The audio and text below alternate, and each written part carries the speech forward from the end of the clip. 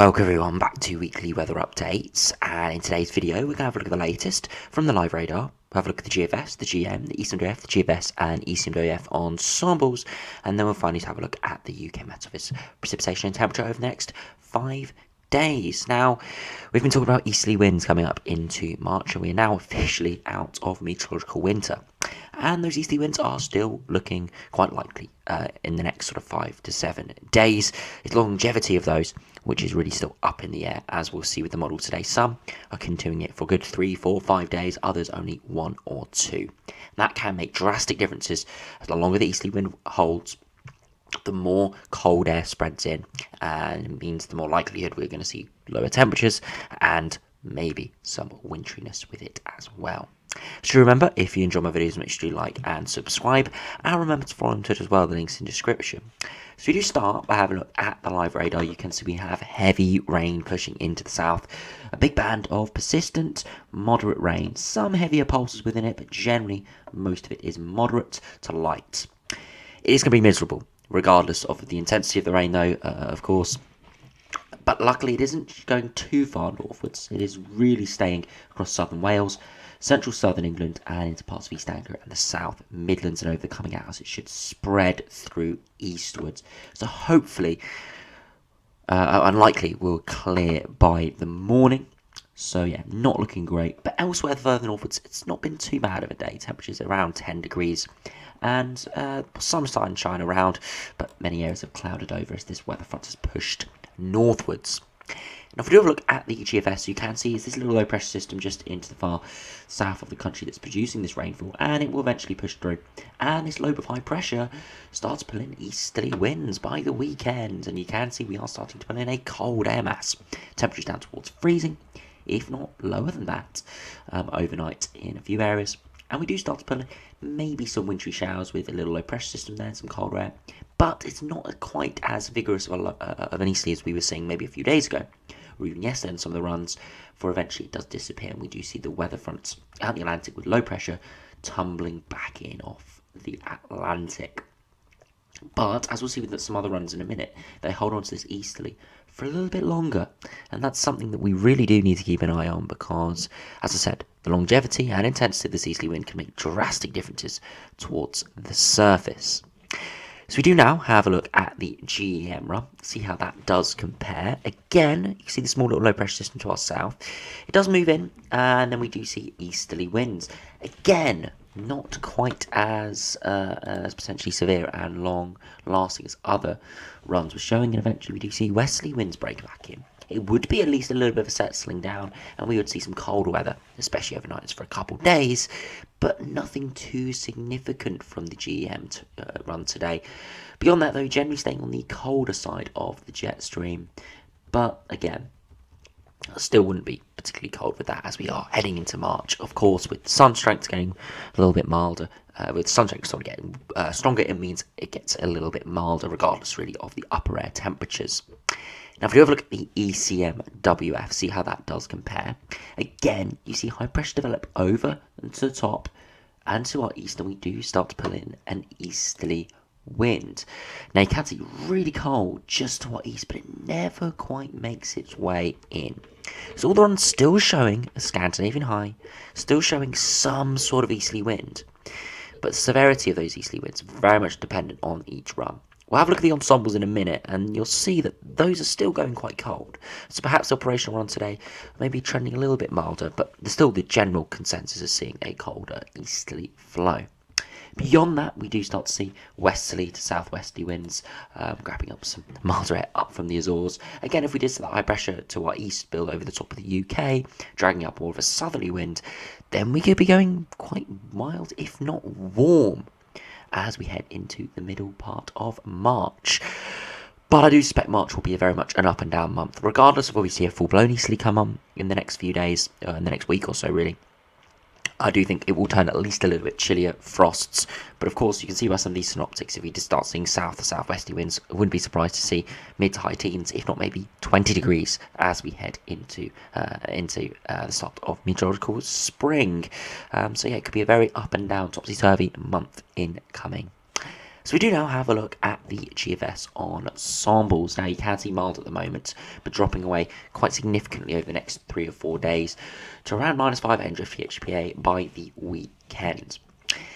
Now, the longevity is very much in question. See, maybe a third of the runs stay pretty cold for a good few days beyond maybe the 7th of March.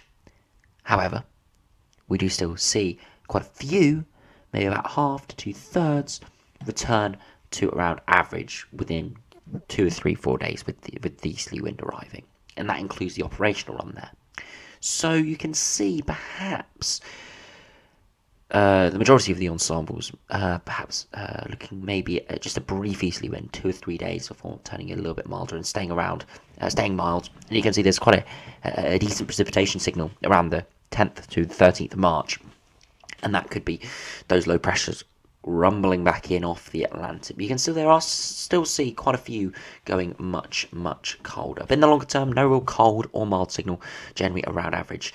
It's not looking too bad, but not uh, not looking amazing either. Whether you're a cold or or a mild warmer um, uh, warmer fan looking for some sort of spring sunshine. Now, if we look at the ECMWF, interestingly today, if we have a look at Midnight Run, ECMWF is still pretty cold. You can see the majority of the ensemble members from around the 5th of March all the way to around the 10th of March are quite considerably below average, some very much below average, um, but quite a few just around that minus 4 to minus 6 area. Uh, and the average is around minus 3, minus 4. So Eastern ECMWF definitely a probably a little bit colder than the GFS ensembles today um, potentially reflecting they're more in favour of holding on that easterly for a little bit longer.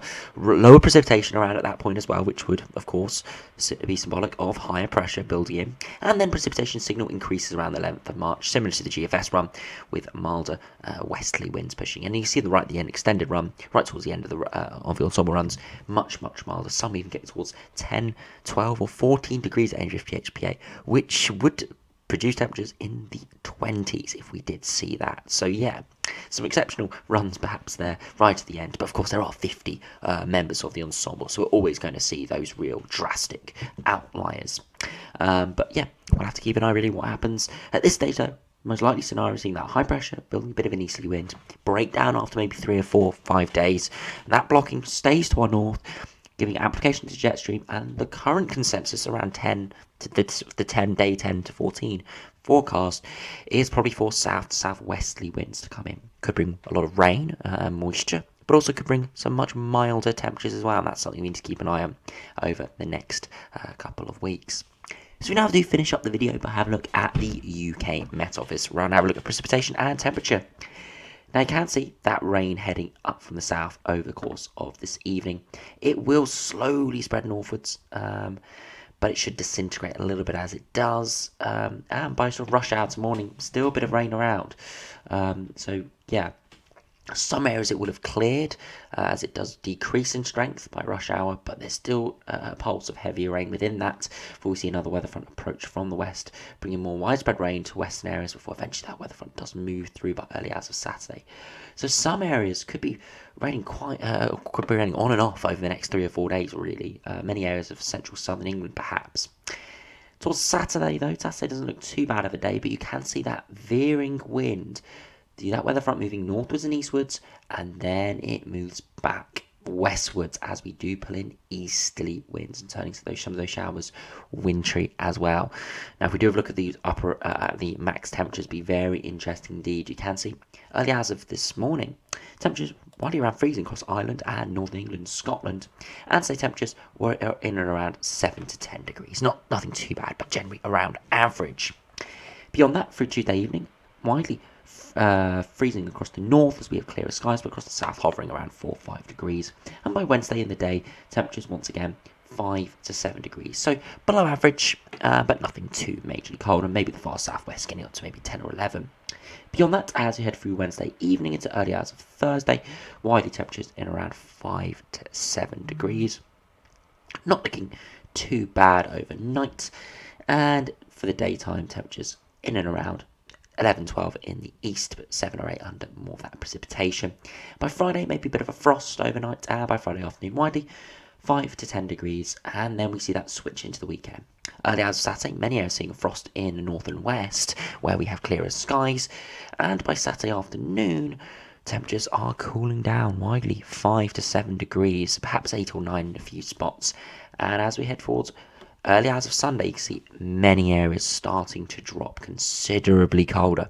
And I would expect Sunday to be a pretty chilly day indeed, widespread highs of maybe 4 to 6 degrees with those easterly winds coming in could be some winteriness around with that as well. So interesting pattern coming up over the next week or so. Easterly wind, and that does look like it will break down after maybe three to five days, depending on the model uh, and the ensemble run. Uh, and we'll have to see exactly whether we uh, whether we see how exactly how cold it gets and how wintry perhaps it does get. When with those upper air temperatures um, getting down to minus five to minus ten, wouldn't be surprised to be seeing some wintry showers in a few spots. So anyway, thanks for watching. Hope you enjoyed. Subscribe if you're new, and I'll see you again for another video soon.